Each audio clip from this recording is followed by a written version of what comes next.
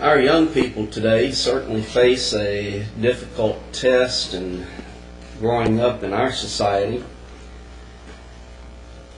And thus, we need to have lessons likened to this, uh, building better young people, both for their sake, but also for us older people's sake, uh, so that when we deal with our children as they're growing up, we can help them out as well help them grow and build to the type of individuals that they need to be. Glad that Brother Brad Green is with us and his wife April. They're not going to get to stay very long. They're on their way over to have to go over to Daytona, but uh, he is a young man. He is working with Brother Kent Bailey at Lenoir City congregation. And uh, you got to say something for him, uh, having to put up with uh, Brother Bailey. I mean, that's uh, for all of you who know Brother Kent. He's a graduate of the Tri City School of Preaching and then went to their third year program as well at, and dealing with apologetics. Also a graduate from East Tennessee State University. He is a young man, and uh, we that's why I assigned him this topic uh, in dealing with young people, and know that he's going to do an excellent job in dealing with that subject.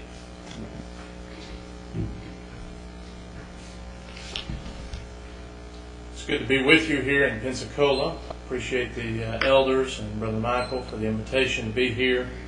It's good to see some brethren that uh, haven't seen since February at Spring, Texas. And while I was there and while they were there, they got to hear me talk about my wife April a whole lot. And uh, many of them get to see why now. She was able to come down with me. And she's a, a great woman, and God has truly blessed me with her. And uh, it's wonderful to be able to travel with her.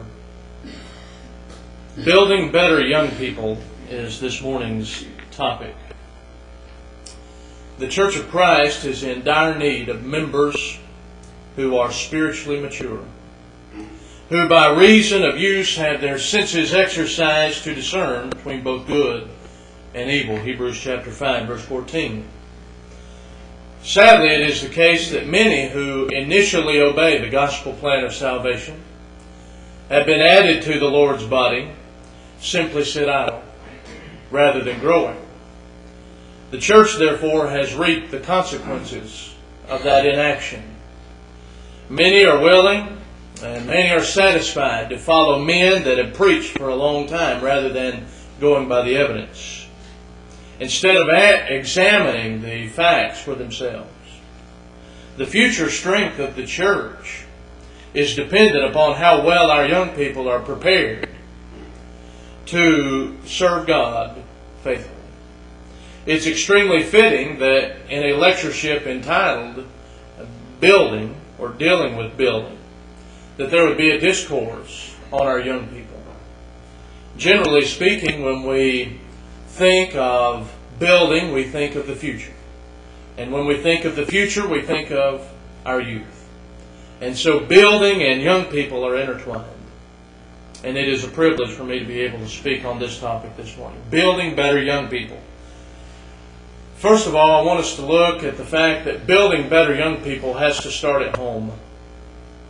I know this is one of the topics this week, and so I won't deal a great, uh, great deal of time on that. I don't want to step on that speaker's toes.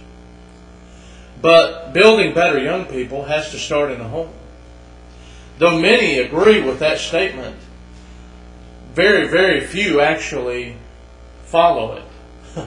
Very few actually seem to believe it to be true. The denominational world uh, reaches out to young people in many different ways, trying to attract them by offering fun and games and entertainment. And such will, uh, worldliness is creeping into the church and has attacked some congregations already. And though God's elders are responsible for feeding the flock, 1 Peter 5, verse 2, and that includes our young people, our youth, the elders are not babysitters. And the elders are not commanded to run three ring circuses for entertainment. And they're not commanded to have activities so that our young people are, can enjoy fun and games. Not only is it not the role of the elders to raise children, it's not the role of the government either. The responsibility of teaching and training our young people lies at home with two parents, a father and a mother, scripturally married. Mrs. Bill Clinton, who is running for president, wrote a book called It Takes a Village. Brethren, it doesn't take a village. It doesn't take a village to raise a child. It takes two God fearing parents who are willing to follow God's inspired word. Elders can assist the home by offering Bible classes and Bible materials and opportunities for spiritual fellowship and growth. But the onus of raising children is in the home. That's where God put it. In order to build better young people, we need to build better homes then. That's where we need to put our emphasis is on building a better home. The psalmist said, Except the Lord build the house, they labor in vain that build it. Psalm 127, verse 1. Parents who try to follow any other pattern than that which is given in the Bible are going to fall short of training their children the way God wants them to.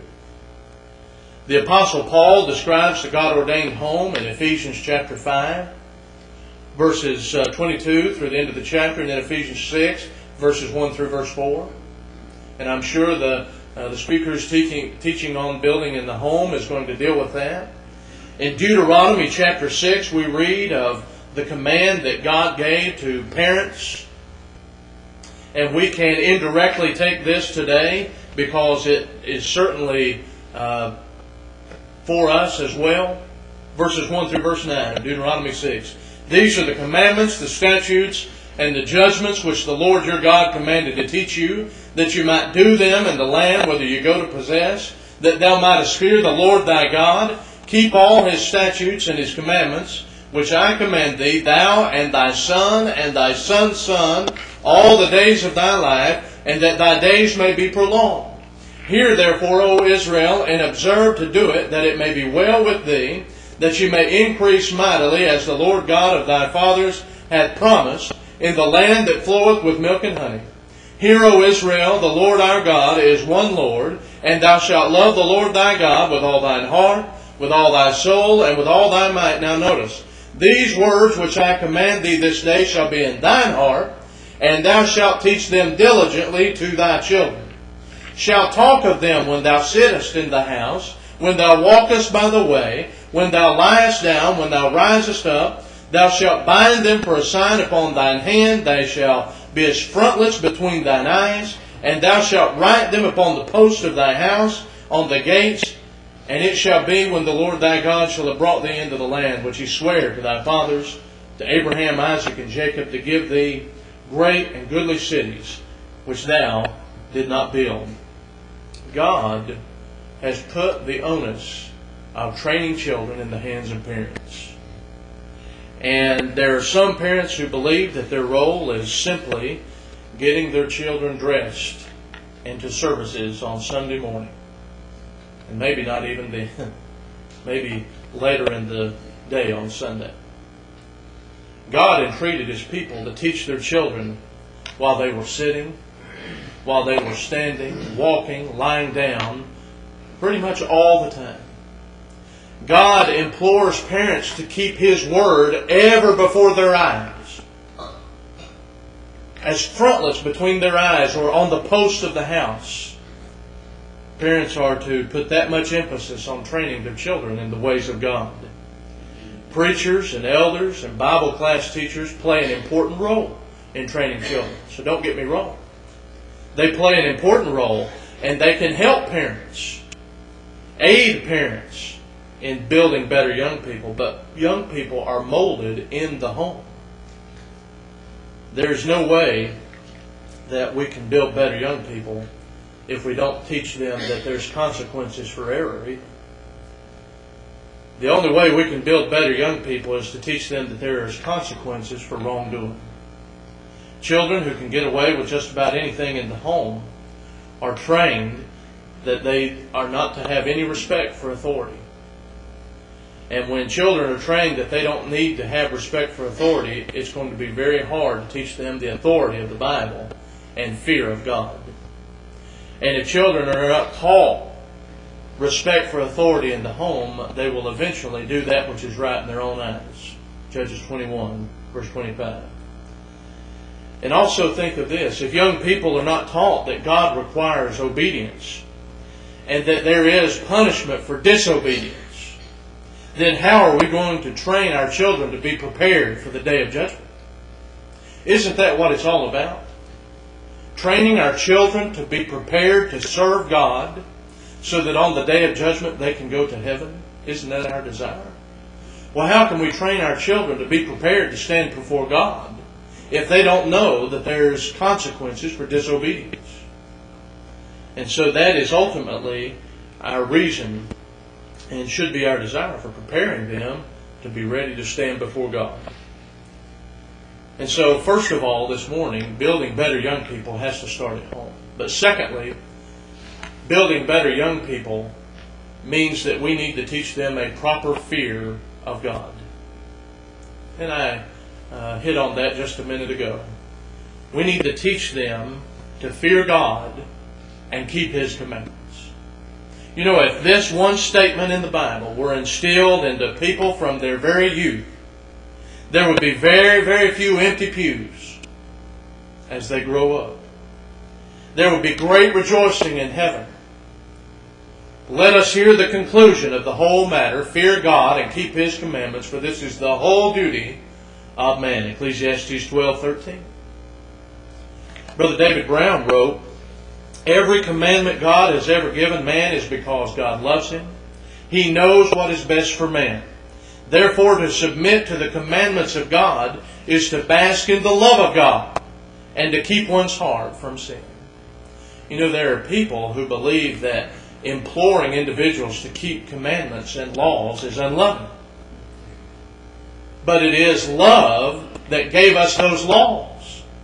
And it is love that will allow us to submit to them. If you love me, Jesus said, keep my commandments. John 14, verse 15. Young people can be strengthened and edified in regards to fearing God and keeping His commandments when we look at these four major needs. And to be honest with you, these four major needs can be applied to adults as well. But I wanted to look at these and tailor these towards our youth. First of all, respect. Secondly, industry. Third, the need to choose our friends wisely. And fourth, the need to discern between good and evil. First of all, respect. Respect is defined by Webster's dictionary as the special esteem or consideration in which one holds another person or thing. The word esteem means to have a high opinion of, to hold in high value. If we're going to build better young people, we need to make sure that they understand respect.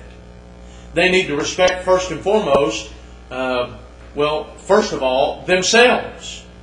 If young people aren't taught to respect themselves, they're going to get into a lot of trouble. Young people should respect themselves because they are created in the image of God. Genesis 1, verse 26 and verse 27. They're not, they're not evolved from any uh, lower animal. They are created in the image of God. Young people should respect themselves because uh, once they are taught and they come to a knowledge of the truth and can obey the gospel, that they belong to Christ. 1 Corinthians chapter 7 verses 22 through verse 24. For he that is called in the Lord, being a servant, is the Lord's freeman. Likewise, all he that is called, being free, is Christ's servant. Ye are bought with a price. Be not ye the servants of men, brethren. Let every man wherein he is called therein abide with God. And so, being obedient to God's laws and ultimately obeying his plan to save, which adds him to the church, allows him to be bought with the price, the blood of Jesus Christ. Young people should respect themselves because they're bought with the price when they obey the gospel. Now, why do we want to put so much emphasis on young people respecting themselves? Well, if they respect themselves, they'll keep their bodies pure. We can think of many different sins and many different temptations that young people face, which defile the body. You know, growing up should be fun. It's a time to enjoy uh, your youth. And there's nothing wrong with young boys and young girls beginning to like each other and to enjoy each other's company. But the Bible is very clear that a mature relationship between boys and girls, between men and women, can only come between a qualified man and a qualified woman who are scripturally married in the eyes of God. And if young people are taught and trained to respect themselves, they will keep their bodies pure as God would have them to do. Also, we can read that drunk driving is the leading single cause of death between of the ages uh, 15 to 24 years old. Drunk driving kills many of our young people. 14 teenagers die every day, and 360 are injured every day in crashes where alcohol is involved. According to the Lung Association, the American Lung Association, smoking related diseases claim an estimated 440,000 Americans every year. Cigarettes contain 69, at least 69 known cancer causing uh, chemicals. And so the bottom line is that we need to train our young people to respect themselves, to keep their bodies pure. And in the world, they're going to be taught that these things are cool. And this is what everybody is doing. And they need to be taught to respect themselves so they'll keep their bodies pure and they'll know that smoking and drinking ain't cool. So we need to train them to respect themselves. We also need to train our young people to respect others. We're going to build better young people, they need to respect other people. The Bible teaches us that we're to, that we're commanded to respect our parents, Ephesians 6, 1 through 3. And we're commanded to respect our friends and our neighbors, Matthew 19, 19. Building better young people also necessitates and demands a respect towards God and His laws. And that's first and foremost. If we'll train our young people to respect God and His laws, all these other things will fall into place. All these other things will fall into place. A proper fear and a proper reverence for God will lead us to do that which is right.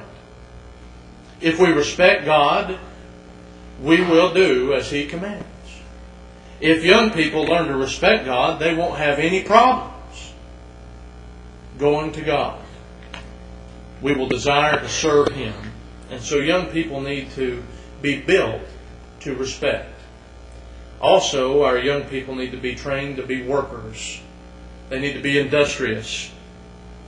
In Ephesians chapter 5, verses 15 and verse 16, the Bible says, See then that you walk circumspectly, not as fools, but as wise, redeeming the time, because the days are evil.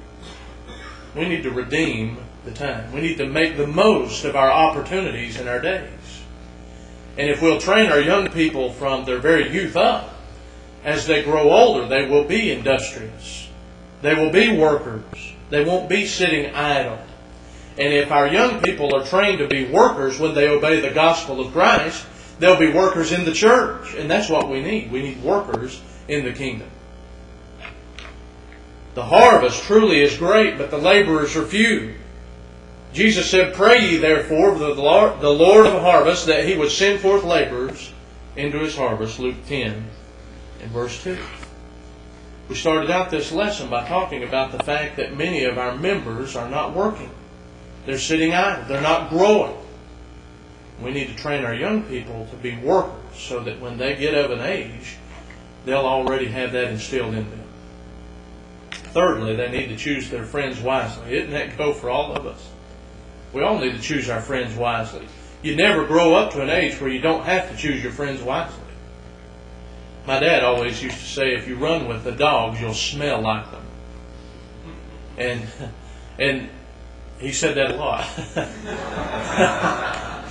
I don't know if he meant I stunk or what, but uh, the idea was if you get involved with a group of people who are doing bad things, even if you're not guilty, you'll have some of that guilt connected to you.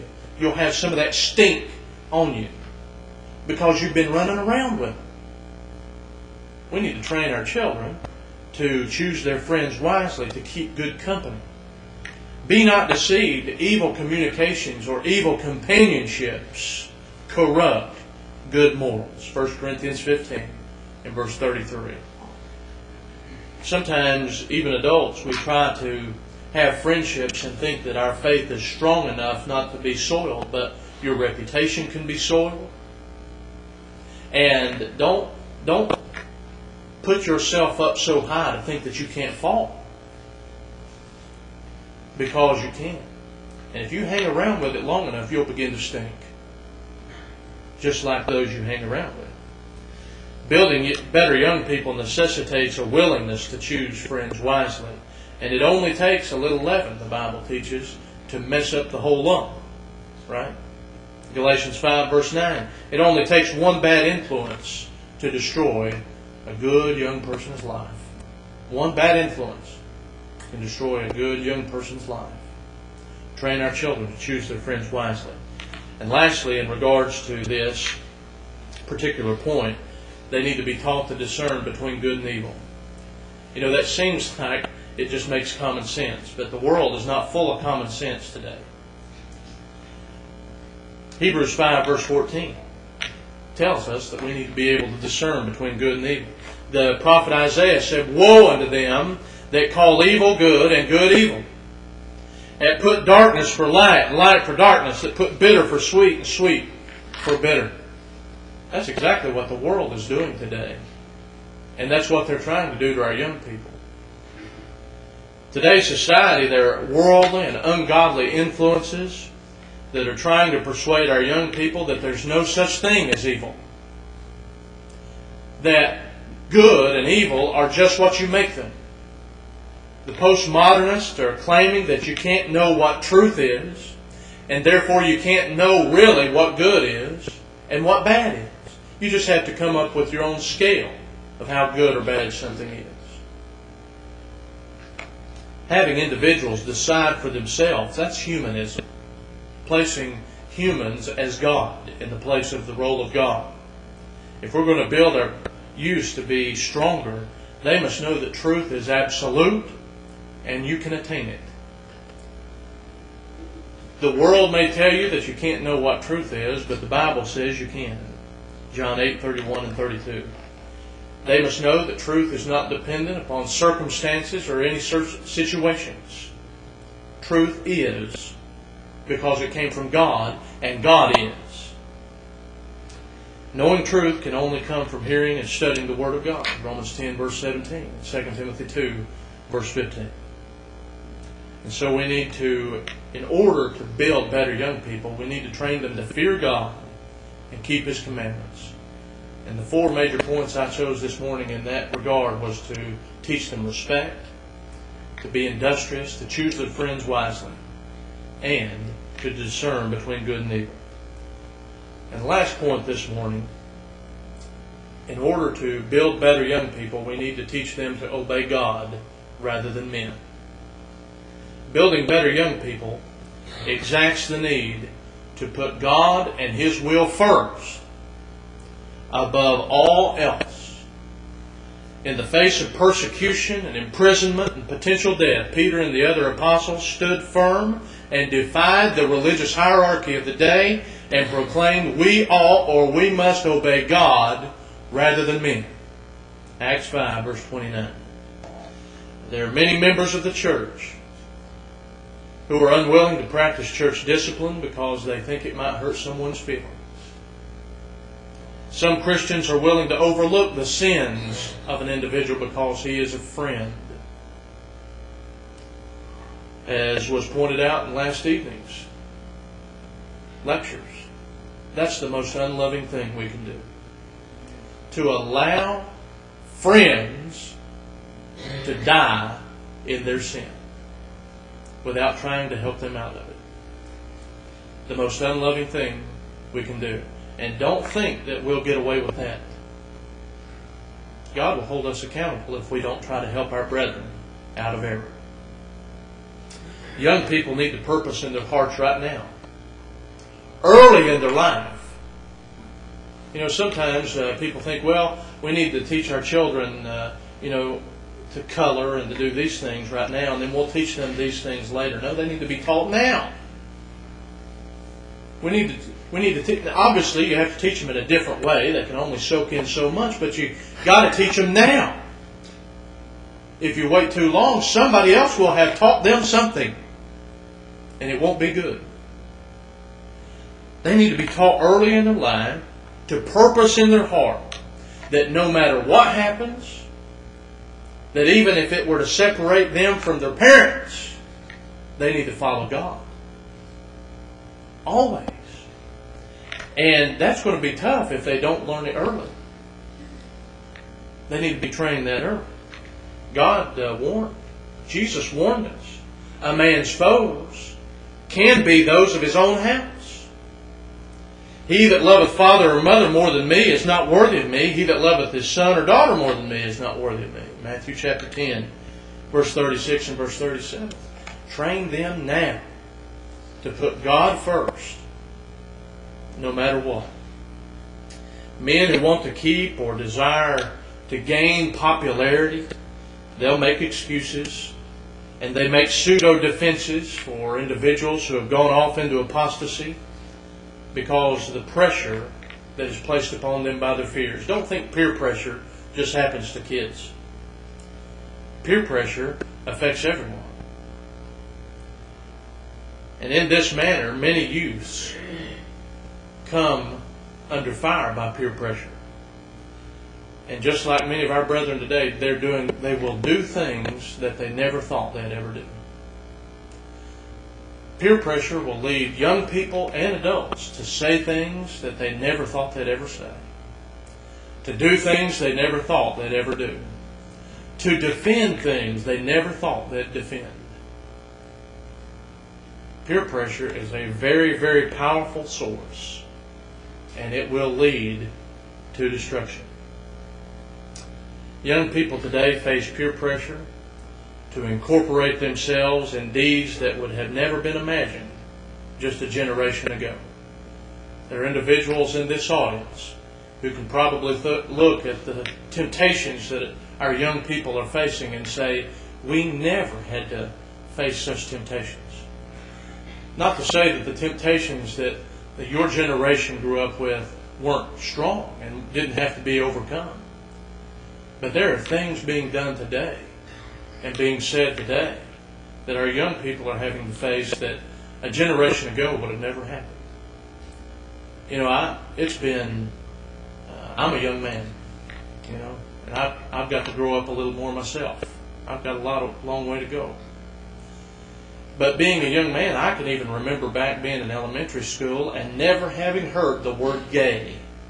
Didn't even know what it meant. I mean, in the sense that the world says it today in regards to homosexuality. That wasn't very long ago that you just didn't know what that meant. That word wasn't used. Today, it's a badge of honor.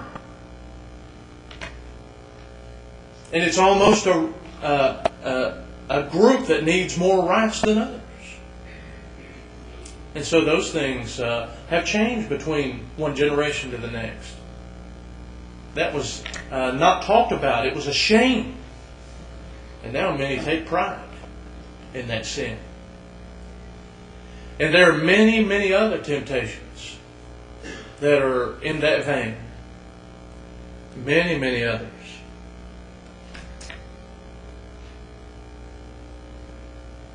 Determining at an early age to obey God rather than men will be of great importance in the effort to build better young people. You know, many here probably remember when you were in elementary school or junior high school and you went in and you memorized a Bible verse in school. I know my dad has told me about those days. Now the ACLU has come in and said that's uh, against a constitutional uh, statement that doesn't exist. The separation of church and state was made up by some liberal because it's not in the Constitution. The Constitution says that the government will not make a nation or a national religion. But it doesn't say that God doesn't have anything to do with our nation. The Constitution just doesn't say that. Your children will be taught that, though. Your children will be taught that church and state are to be separated. It's just not there. A generation ago, well, even when I was in elementary school, not too long ago, we did the Pledge of Allegiance in schools. That's gone. Anything that has the name God in it is going to be taken away from public if we don't be careful. And that's the reason we need to train our young people to be ready for these things. And training obviously begins in the home. And we as members of the body of Christ can do our part as well to help in building those young people. The earlier one can distinguish the difference between their earthly ties and the tie they have to God. Their earthly relationships in, re- in reference to their spiritual relationship with God, the covenant they will make with God, the better they will be able to face these temptations in the future. And the better opportunity they will have not to give in to peer pressure and not to be led away from the truth. And so this morning, build better young people, we need to teach them to obey God rather than men.